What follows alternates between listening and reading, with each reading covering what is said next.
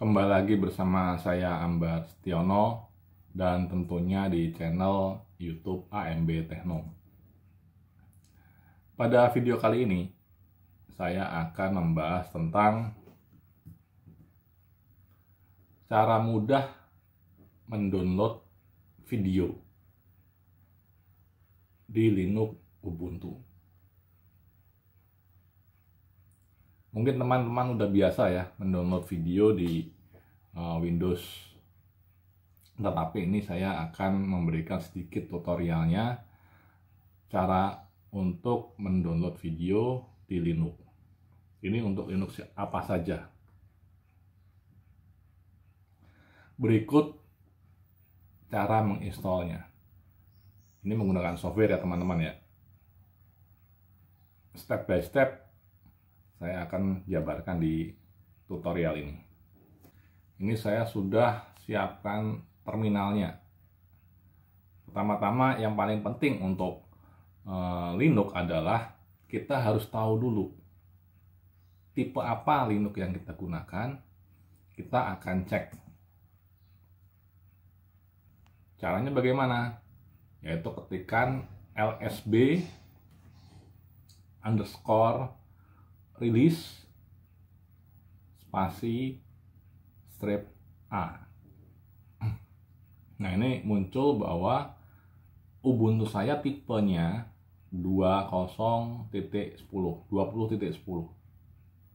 Jadi kalau teman-teman tidak menggunakan Ubuntu, itu juga bisa. Jangan khawatir. Software ini dapat diinstal di semua Linux. Misalnya menggunakan Linux Mint, Red Hat, dan lain sebagainya. Kemudian langkah selanjutnya teman-teman harus mengecek terlebih dahulu apakah sistem operasi sistem Linux teman-teman sudah siap untuk menerima atau kedatangan software baru. Caranya gimana?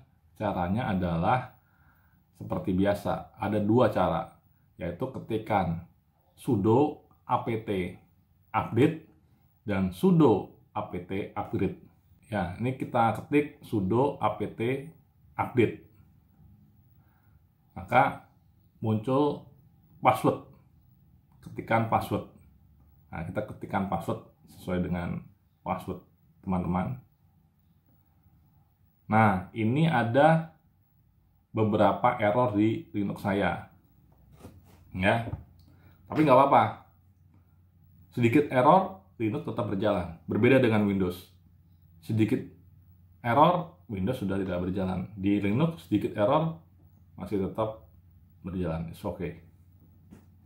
Yang kedua adalah sudo apt upgrade. Kita cek sudo apt upgrade. Nah, ini ternyata tidak perlu di-upgrade Linux saya. Apa bedanya update dan upgrade?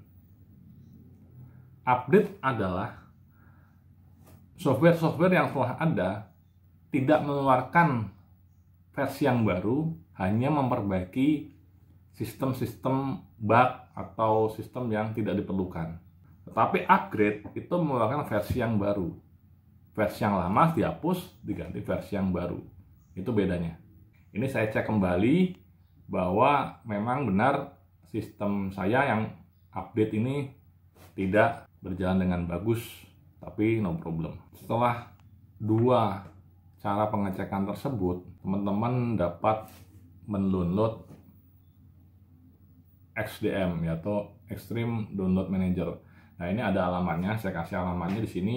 Widget https titik dua garis miring github.com ini di, bisa dicatat aja teman-teman ya nanti ya dicatat nanti diketikkan di terminal atau di perintahnya teman-teman nanti di Linuxnya. Kemudian ini dengan filenya adalah tar xz. Maksudnya tar xz ini tar.xz ini adalah dia kompres ya. Kalau di Windows itu seperti zip. Jadi bukan untuk diinstal seperti nah, jika di Windows itu seperti setup exe ya. Ini hanya di ekstrak nantinya di Linux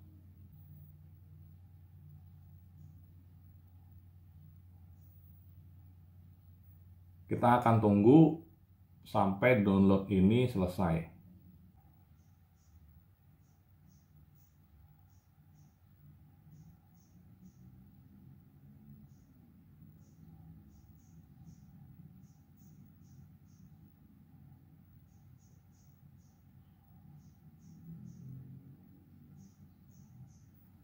Kita tidak tahu di terminal download melalui terminal kita tidak tahu ini di save di mana. Ya itu kelemahan Linux ketika menggunakan terminal. Begitu pula dengan hmm, DOS di Windows MS DOS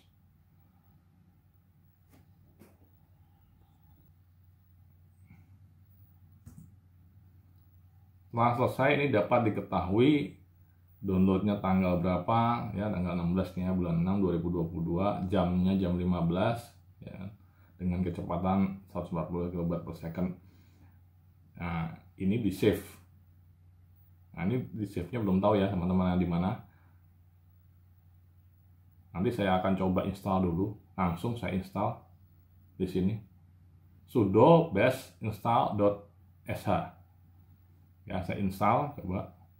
Ini sebetulnya bukan install ya menurutnya tapi ini ekstrak karena SH nah ini nosak file or directory. Ini maksudnya di sini adalah di directory ini tidak ada. Mungkin di directory lain. Teman-teman bisa mengopikan copy XDM setupnya itu yang di atas kemudian dicari di explore ini saya cari di download. Coba di download ada nggak? Tidak ada ya di download ternyata. Kemudian saya naik lagi ke home. Di home di paste aja di situ. Nah, ternyata ini ada XDM setup 7.2 tar XZ. Ini kita properties. Nah, untuk mengetahui direktorinya di mana. Oh, di home di brother home garis miring brother. Nah, nanti kita masuk dulu melalui terminal dengan perintah home brother. Kita buka terminal yang baru. Ini saya ketikkan cd spasi garis miring home garis miring brother. Untuk mengeceknya apakah sudah masuk home atau brother, kita ketik pwd. Nah, ini sudah kelihatan ya. Sudah masuk home brother. Kemudian diinstal. Nah kalau sudah keluar password berarti sudah benar. sudo best install.sh ketika terminal teman-teman sudah memberikan password atau meminta password berarti itu sudah benar. Tinggal install aja. Sampai selesai. Karena saya sudah menginstal Extreme Download Manager jadi ini tidak saya teruskan. Karena punya saya sudah yang versi yang terbaru jadi percuma saja saya install ulang gitu. Nggak bisa kalau Linux. Beda dengan Windows. Windows bisa diinstal ulang tapi Linux tidak akan bisa diinstal ulang ketika program tersebut sudah terinstall. Ini saya akan coba download salah satu video yang ada di YouTube ya yang simpel-simpel aja yang ring, yang ringan yang durasinya sedikit singkat aja. Indonesia versus Nepal. Ini Piala Asia. Kita menang 7-0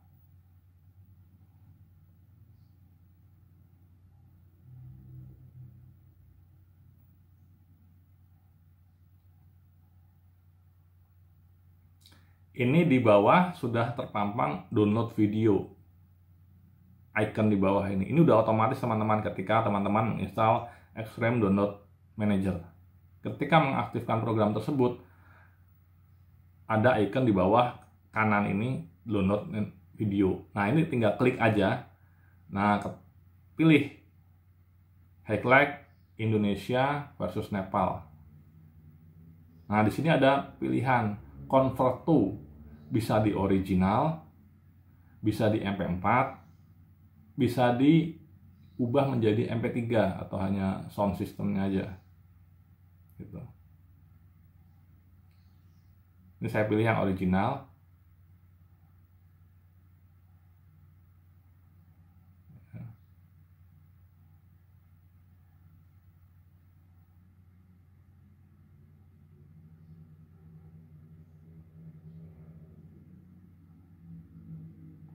saya akan tutup supaya lebih cepat downloadnya gitu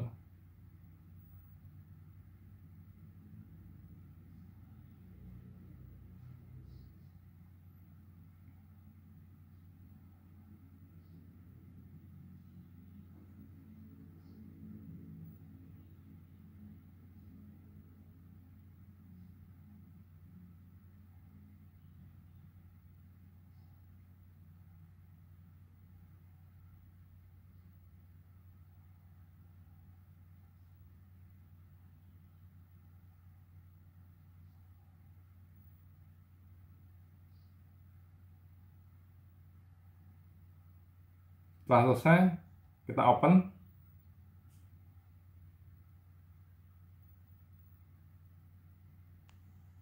Nah, ini hasilnya. Terdownload ya teman-teman ya. Cukup simpel ya, mudah ya.